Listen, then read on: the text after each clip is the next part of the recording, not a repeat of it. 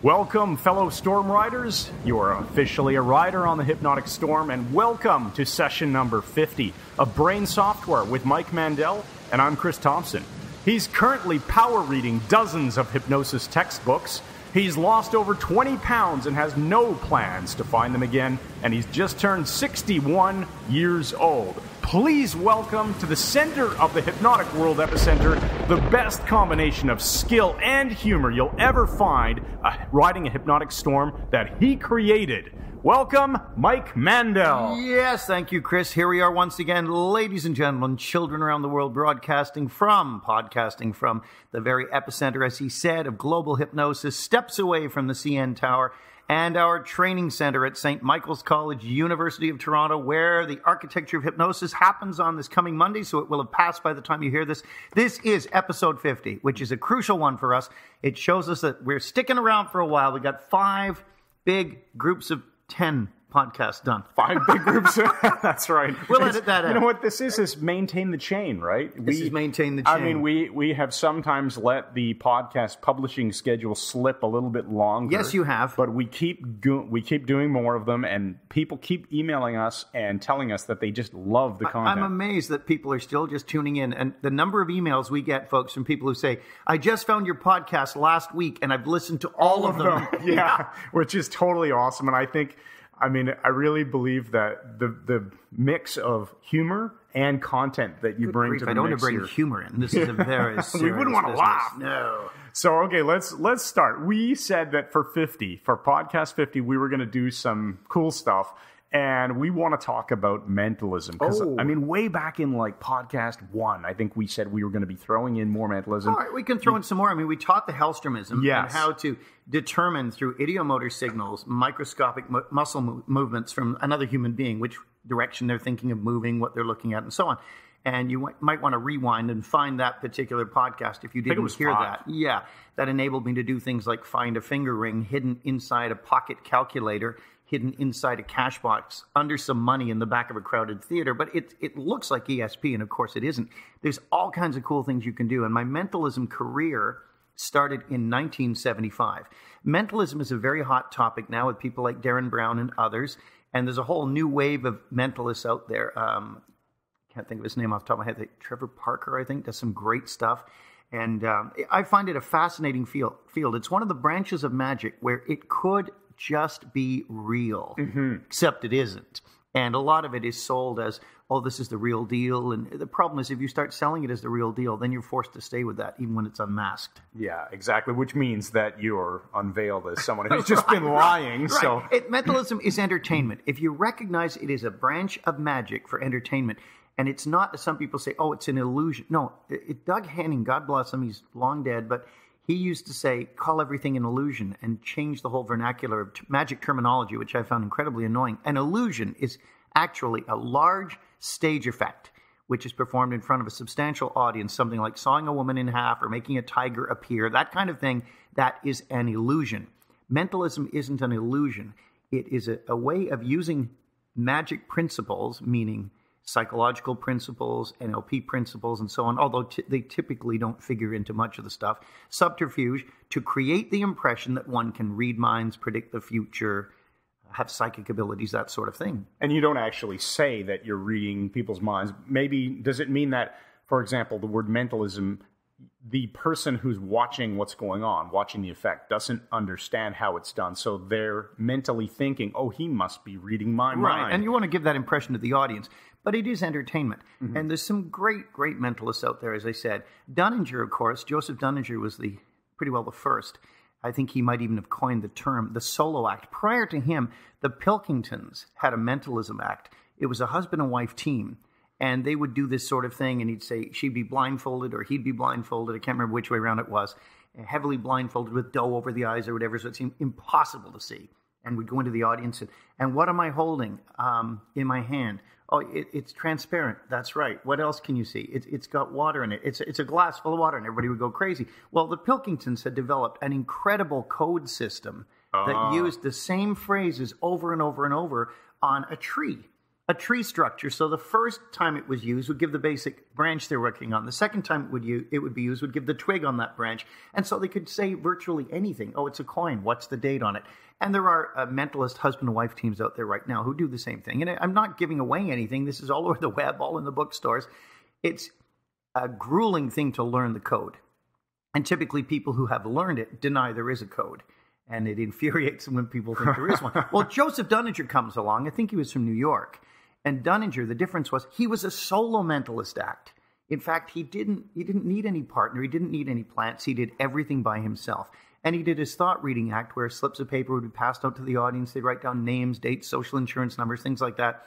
They'd be collected by the audience, thrown in a you know a bucket on the stage. And Dunninger, without opening any of these, would say, "Who's thinking of Mary? Who's Mary? It, it's your sister-in-law? Yes.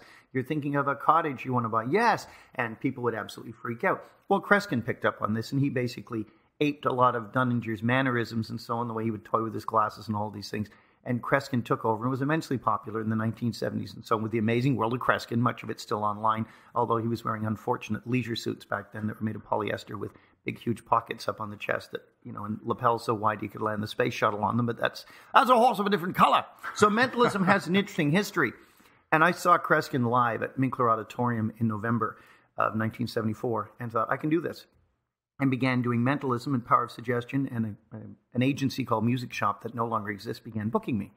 And one of the things I did in my act was just sheer boldness and it was taught to me by a variety performer called Bill McCrory, Bill McCrory or McClory, McClory, I think, years and years ago. He was an old man then, older guy. He'd come on stage, ride a unicycle, juggle, do mentalism, blindfold, he'd do everything. And he showed me this thing, and I used it for years, and I never got caught. And if any of you got the nerve and you want to freak people out, this is a great mentalist effect. Here's how I would do it with an audience. And you need a substantial audience to make it work. So it's not something you're going to do at your house with a few people over. Say I had 100, 200 people in the audience, I'd have a small pad, a small white pad of paper, and a pen, like a, a Sharpie kind of thing. And I'd say to someone, okay, um, write down a three digit number. So they do. And I take the pad back from them and I pick another person at random. You can throw a ping pong ball into the audience or a lawn dart or something to find someone.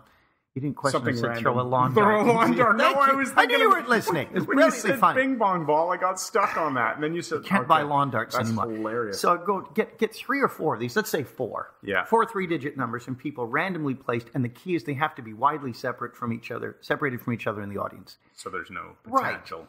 Then I get a fourth person up on stage and hand them the pad that's been in full view the entire time, and they add up the numbers. Now, this is before pocket calculators. They didn't exist back then. You're not going to do it with a slide rule on stage. so my dad called it a guessing stick.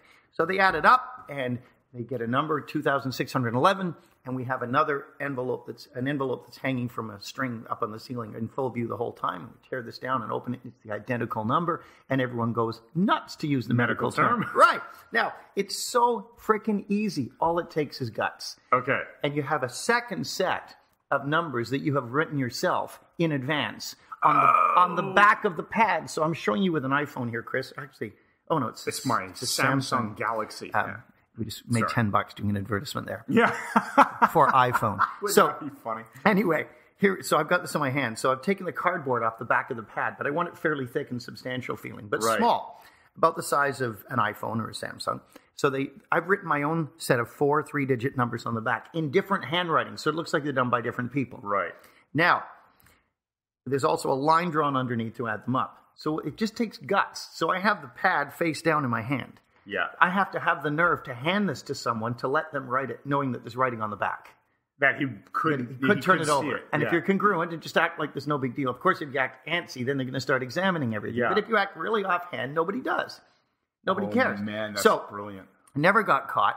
And they write the number, and I take it back and pass it over, and we keep doing this. As I walk up to the stage and go up to the other person, I say, "You notice there's a prediction here the whole time," and I point at it. And as everyone looks at that, I just flip the pad over with my thumb and hand him the pad. Oh man. And he now Okay. adds them up. So you're audience distracting them. Misdirection. You're keeping their attention focused on this prediction card hanging from a string above you, so that they just all I they just draw do their is attention to it. They look at it. Now there are some hypnotic principles in here too, right? Compliance and stuff. So they are as soon as you have them hand them the pad and tell them write down their number. Right. They don't think to spend the time investigating it No, or they're focusing they just, on the number. They just do what they're told. and you say make it totally to random, you. a number that means nothing to you, like change, taking their mind off the pad onto Exactly. the number. And you, Kreskin does this really well, um, or did years ago when I saw him years ago. He would rush people. That was how he would Mm-hmm. keep it. He'd say, "I know our time's going. I know our time's going. We have very little time." He'd always be saying, "There's very little time." Right. He does a two and a half, three hour show. So I just see so much relation here to instant inductions and PGO spikes and stuff, where you're just telling people exactly what to do really quickly, and they don't have time to think about it. Right, right. I do a higher degree of that prediction now, Chris, which is a variation of a very old trick that I came up with myself. I have my briefcase, which you know looks like it's bulletproof. It's all titanium and stuff, but it's it's locked. And I say somehow I can't get the, it open. It's not opening. I, someone wants to change the combination, but we're going to see if we can produce an effect to find out the combination of the briefcase. And you know, giant playing cards. Yeah. They're four times as big as regular cards. You can buy them at Walmart. Size of a MacBook. yeah, pretty much. Oh, So I- there we go. Another uh, another, another promotion. Apple. so um, send the money to MikeMandelHouses.com. so we have this these giant cards, and I have nine, nine of them, ace to nine of spades. Yeah. So they're all the same suit, and we have three envelopes. Someone mixes them up, puts three in each envelope, tells me which envelope to discard. So there's Okay. only two left. Now, two people each take one of these envelopes with three cards. I say, who do you want to be digit number one, and who do you want to be digit number two? I want to be digit one. Okay. Take out any one of your three cards. Hold it up. So he's got a six of spades. Take out one of your three cards. And the three are gone. We don't know what they are. He's got the eight. So we write in the blackboard six, eight. He discards them. We do that three times. So we have three two digit numbers. He adds them up, tries the combination, and the briefcase pops open. Now he's Oh, tried man. he's tried to open it first with all different combinations. It's not worked. Now he tries this one and it opens. And I said, some people think that it will open with all different combinations. Would you just look what's in the very top of the briefcase? It's a big brown envelope, and he opens it, and it's the same number he's just done on the board. Oh wow. Now, that's my own creation. In other words, I might reveal how that's done on podcast 100 if we get that far. Note to self. oh, I thought you were going to tell us Are how you you'd kidding? done it. Okay. that's what I'm still doing. Okay, now let me ask you. So you were talking earlier about mentalism and how you don't want to stick to a story that this is mind reading or magic or something. So if somebody says, "Well, Mike, how do you do this?" What's your typical answer? Very, very well. right. Okay, so very well. so you don't actually say of anything. You don't not, say it's in effect. No, it's, it's, it's based on sound scientific principles, Right. which is true. Okay, so it leaves them thinking, it leaves them wondering, leaves them very curious, and of Yeah. course, coming to your next show. so that's awesome. All right, um, is there another one you were gonna? Yeah, uh, let me tell you another one. This is a great one you can do with a smaller group or a large one. I may have alluded to it, but if I have, it's probably 48 podcasts ago. So forgive me. We- We're rich in that age where it's really hard to keep track of I think the the only the only said. ones you've taught so far are you've talked about Hellstromism and you've talked about the acid test. Okay. Oh, well, all right then.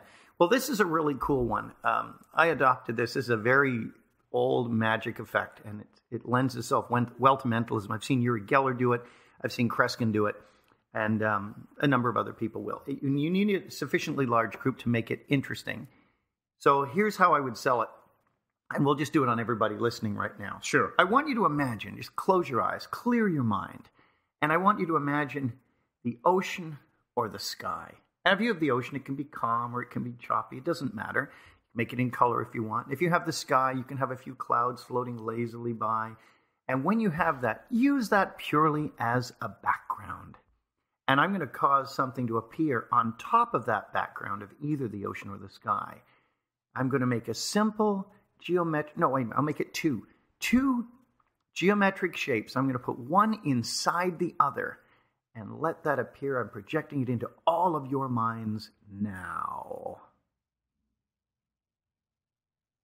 Okay, how many people out there saw a circle and a triangle? And everyone goes, Woo! I did. Yeah. Well, Chris, I, I think you got it the right way around, the way I projected it, which was the circle with the triangle inside. Yes, that's and one point up. Yeah, that's perfect. Thank you very much, ladies and gentlemen. I know our time's going. We got to go to a commercial break. Well, listen. Oh, that, that was not planned. Just no, for the record, and, and many of you will have gotten it now. With a huge audience, they gasp. this kind of thing. It's like mind blowingly amazing. Now, think about it. You start by saying ocean and sky, which is a complete red herring. It's just to get the person's mind off what you're doing. It, Yes. gives them, it gives them the illusion of choice, either the ocean or the sky. It gives them the sense that they have made a free choice. Now you build upon it with another free choice. And I always start to say, I'm going to send you a simple geometric. No, wait.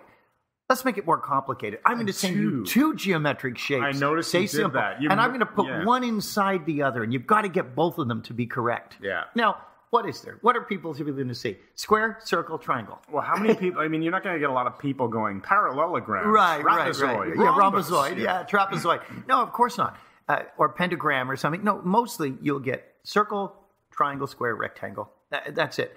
And circle and triangle, as soon as you say one inside the other, those two are by far the easiest two to imagine Sure, together. sure. And people will almost always put the circle with the triangle inside one point up. Well, because that's the way we typically see triangles drawn, is one point of up. Right. And it's easier to see that than a triangle with a circle inside. Yeah. So people will default to that. You'll get probably 80% of the audience will gasp when you do this. Okay, And you that's say, okay, let's let's let's give this another shot. Let's let's see if we can do it again. Um, all of you, let's uh, tune in again. You're receiving my telepathic message through time and space and over the world, Wi- world wide web. So let's see if we can send you another one. Um, and Chris, you can only have to react if you actually get it right, if your telepathic powers are working today. So this time, after everyone has gone, wow, and freaked out at the last one, I say, now I want you to imagine, let's just take that circle for a moment. Uh, Get rid of the triangle. I want you to imagine that circle, make it large, clear, and vivid, either an outline or, or a disc. Make it an outline, an outline of a circle. Focus on that. And I'm going to attempt to make a number up here in the circle. Um, let's make it less than 50. Uh, I'll make it two digits to make it tougher. And let, let's make the uh, digits odd and different from each other. We don't want 11, that wouldn't count. 33 wouldn't count. The digits are the same. Just let that number appear.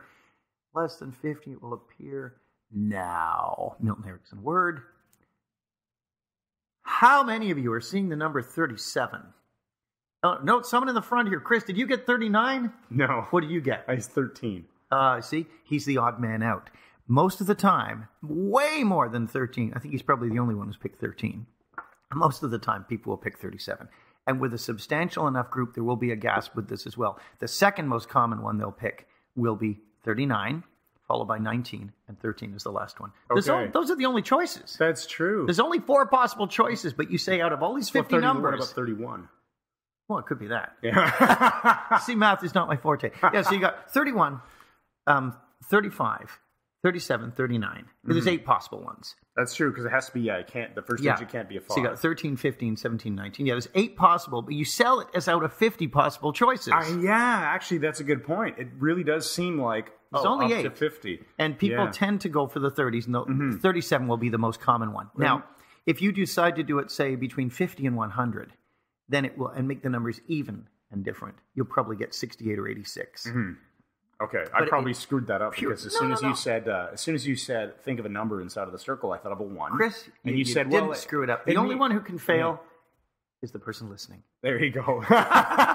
Just kidding. nice frame.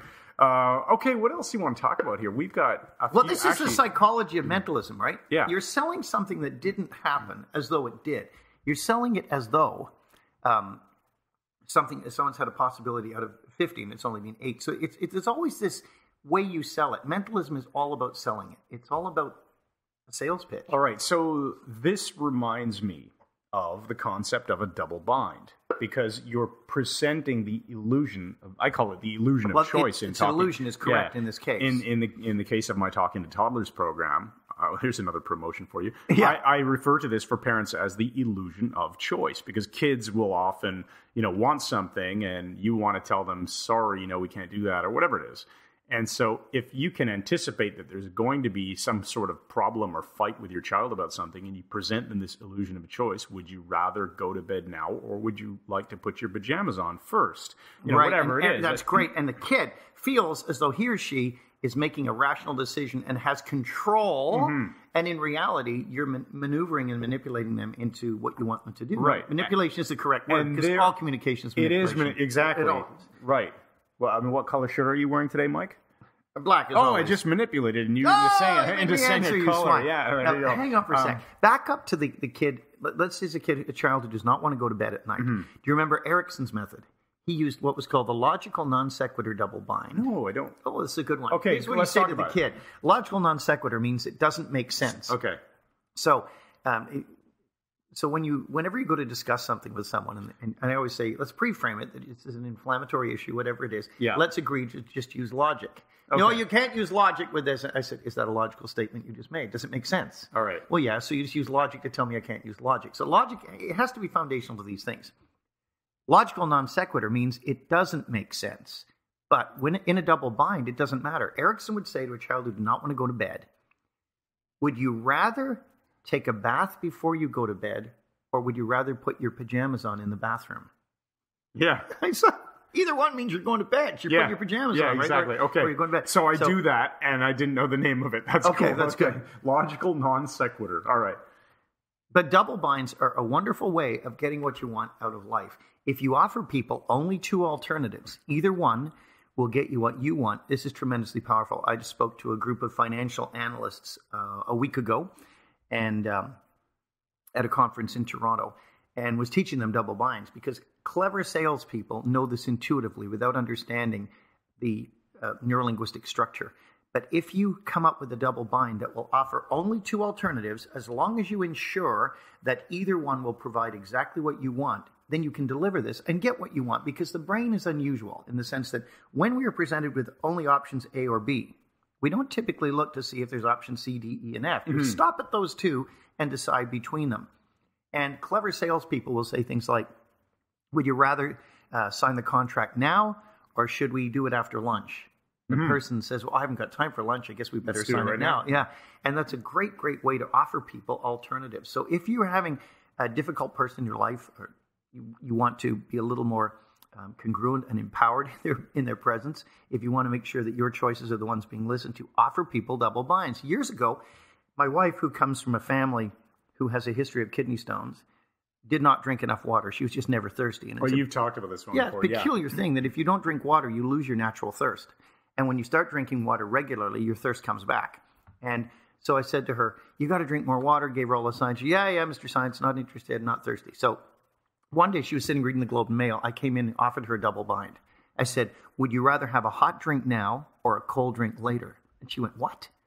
I said, Would you prefer a hot drink now or a cold drink later? She went, Um, I guess a hot drink now. I said, That's right. And she'd normally have picked up on that, but she was busy reading the Is he newspaper. reading, distracted? So she said, I'll have a hot drink now. So I brought her a big thing of her mug of herbal tea. And I said, I'll, bring, bring you that. Not a cold drink. I'll bring you that cold drink later. But I That said that cold- one. It implies we've discussed it and agreed to Oh, it. that's and she went, okay. So I brought her a bottle of water and she drank that and then went, what did you just do? So I'm offering just a double bind. In fact, the entire taser challenge that is used by the Royal Canadian a Mounted Police bind. is the Mandel Taser Challenge. That's the name of it. After the person who invented it, me, they hired me to create it for them, and it's based on a double bind. It's police! Exclamation mark. You've identified yourself. Stand still, or you'll get a powerful electric shock. So the, the thing is, do you stand still and comply, or do you get a shock and comply? And people tend to stand still. But there is alternative three: run away. Yeah. Alternative four: attack the cops. Alternative five: get my friends. Yeah. But people tend to either comply or get shocked with a taser. Especially in a stressful situation, right? Of course. I mean, so what happens in a stressful situation is that their critical faculty is not online the same way it normally would be. That's right. It's not online. And just on the whole line of critical faculty, Chris, eh, not critical factor, as we've said many times. The reason I mention it is because I was reading uh, a well known hypnosis trainer's book, flipping through it to pick up some points and write scathing comments in the margins, as I usually do. My wife said, just laughs. I know, I've seen some I- of the books you've lent me. I see your comments written in the margin. it might be ranging from as if to crap Yeah, to what yeah. are you thinking? What is this? Yeah. Yeah. But um, anyway, he was closer to the truth back then because even though he's noted for saying critical factor now, back then, you know what he was saying in his book? Critical faculty. No. No? He was saying critical faculties. Oh, he- like there's plural. more than one. So you almost got it right and Ah. then just threw accuracy out the window. okay, and we won't identify who we're talking about, as usual. Right. All right. Um, I wanted to go back to this logical non sequitur thing because when you were Okay. introducing the concept of logic, Yeah. you said, let's pretend that we're arguing over something inflammatory and we're going to agree to use logic. Go back to that. Is that something you actually say to the person? I say when people say- want to discuss something in an emotional issue, right.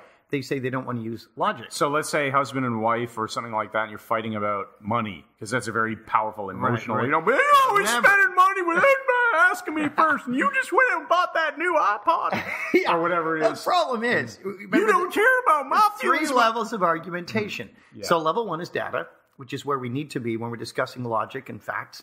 Level two, we're starting to get adrenaline trickle. So emotions yeah, start to kick in. Now, when you get a level two, you got to breathe and slow down.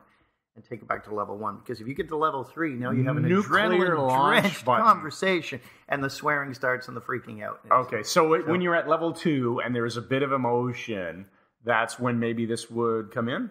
Well, I I get it. You know, people want to discuss their religious beliefs or something. So, well, let's use logic. Okay, Oh, you can't apply logic to religion. I say, is that a logical statement? What you just said? He's, what do you mean? Does it make sense? Yes. You're using logic to tell me I cannot use logic. Oh, that's beautiful. See, okay, see- so what do you call that? Being logical. Okay. The problem is most people are not logicians, and they go through a mysticism instead. So we have we have rationalism, we have empiricism, we have mysticism. Mysticism basically is whatever you feel Mm-hmm. is what's true. Well, I just know it. I just feel it's true. What, whatever it is, you know, I, I know she loves me. I just feel it. Well, have you ever felt something that wasn't true? You know, you know, Hitler thought just felt it was right to invade Poland. That didn't make it Yeah. true. You know, like it, so we have to sort of be careful with this. The one that makes me laugh all the time, Chris, is the whole idea of um, an a priori argument now, or an a priori situation. So a priori is in advance. It's what you think before you begin to discuss a topic. What are you bringing to the table as your foundational beliefs? So if you have an a priori that all the people of a certain race are are thieves or lazy or whatever they are, then All those Martians, Right, so say Martians, Martians. those damn Martians, Right. and Jup- Jupiterians, Jovians, I they're all that- evil and safe. thieves and so on. Yeah, unless we get sued by a Martian. until until Elon Musk colonizes Mars. no, he That was one of your better lines. So, if we have this a priori, this belief in advance, then we will tend to put everything through those perceptual filters and we'll see things that way. And I got in an argument with a family member on my wife's side of the family who is notorious for being a pseudo intellectual. And I love the term pseudo Oh, he is. intellectual. He- He's, he does one of those clever things. He's the smartest person he knows because he hangs around with stupid people. And if you want to be the smartest person you know, it's really, really easy. Just hang around with a bunch of idiots, people, yeah. and you will be the smartest person you know. But he hangs around with people who think he's brilliant because he makes obscure and obtuse states, statements all the time. But I said, you know, you have to determine what a priori you're bringing to the situation before you argue this point. He said, I don't have any a prioris. I'm just I'm just logical all the time, which he isn't. And I said, so your a priori is, that, you you're don't have any. Yeah. Is that you don't have any. You know, it's, it's back to there are no rules. Is that rule number one? You know, it's, I- it's I am- stuff self-destructs. I, I like that. There are no rules. Is that rule number one? What I model from you is that you ask people a question, like you'll attack a universal that they'll state or something Universal like that, quantifier, and yeah. you'll push it back on them and challenge them to realize that they've just said something that doesn't actually make sense. Oh, yeah. and at that point they've lost. and this this isn't me. This is all Aristotle. Okay. This is Aristotle. The Greeks figured this out centuries ago. And as soon as you open your mouth, you hang yourself. Okay. You know, obviously, I said, Jay Quinlan, the police trainer, very good friend of mine, kung fu fighter, interesting guy, British, funny as heck. And he's the one who said, you know, no one can make a definite statement about anything. And I said, including, Including the the one you one just you made. just And made, it was right. great to see his face as it integrated. That is a great one. Okay, so the challenge will be to use that technique on somebody in the coming weeks, folks listening. Okay, Mike, so do you have a closing metaphor for I us? do, Chris. Go for it. It's a short one, but a good one. A number of years ago, I used to pass a small art shop on Kingston Road, not far from Kingston Road United Church, where you know we teach the British Jiu Jitsu class down in the basement, in the dungeons of the church by the bowling alley. Yes, there is one there. yes. And I passed this and kept looking in the window as I passed because, you know, I'm a bit of an art fanatic. And as I looked through the window at some of these beautiful acrylic and oil paint and oil paintings as well, I saw one that caught my eye. And it was one of the old Toronto streetcars. Now, we still have streetcars, but they're all updated. And it was off the tracks, though. And it was in the, the window, the light shining down on it from the street in semi darkness. And it was in snow and you could see the snow all around it, the snow falling onto the streetcar itself, and it was sort of coming towards the viewer. And it was against a, an abstract background. There were no buildings, just sort of vague, grayed out things as though you're looking through a screen of snow. And the, the streetcar was off the tracks by about two feet. It was running through the snow, but not on the tracks. And this used to really interest me. And then I'd glance at it as we passed. And then one day, months later, I went by and looked in the window, and the streetcar wasn't there anymore. And I thought, oh, it's a shame. I used to like looking at that. It fired all these anchors of childhood streetcars and so on in Toronto. I noticed they'd hung it on a different spot in the window. It was to my left now. And when I looked at it, I realized it must have been a shadow, a trick of the light, because there were furrows in the snow, and the streetcar was firmly on the tracks, moving forward. And there's a sense that sometimes things aren't necessarily off the rails. Thanks, everybody, for listening to Brain Software with Mike Mandel and Chris Thompson. This has been session number 50, and we hope you've really enjoyed this one. We put some extra effort into making it fun and just awesome as always. Yeah. I want to make sure that I remind you all to head on over to MikeMandelHypnosis.com and opt in for our email list. You'll get a copy of Mike's brain software ebook, which really does contain life changing stuff similar to the stuff you've learned in this podcast, but action packed and and quite compact and easy to read in one sitting and just learned a lot of really cool stuff. And on top of that, I do want to remind you that we have more live trainings coming up. We've got our June 7th and 8th Mindscaping class, the 2014 edition happening Still a few spots Toronto. left. Still a few spots left. And the May hypnosis training, which will be over by the time this podcast goes live. Sold out since February. Sold out. And the November training, which happens the week of November 3rd, 2014. There are only 10 spots left at this point, and it's still several months away. So it will be sold out. If you want to attend with us in person, live training, the best hypnosis trainer on the planet, Mike Mandel, go over to mikemandelhypnosis.com forward slash class. You'll get all the details, and you can leave your deposit for your spot because it will sell out. You know, they say that um, opera really began, at least with the first one we've got a record of back in 1600. And only seven years later, Monteverdi came up with his wonderful opera, Orfeo. And in that one, the recitative was so good they've never equaled it. But, you know, people ask me about it all the time. I like Richard Wagner more. And people say, how, how could you like him? You know, it's, it's so long, his operas, they go on forever. And, uh, you know, you've got to like Monteverdi. I mean, I like him a lot. But Wagner, I mean, there's just something about him. I listen to Richard Wagner. I just feel all nice and soft around the edges.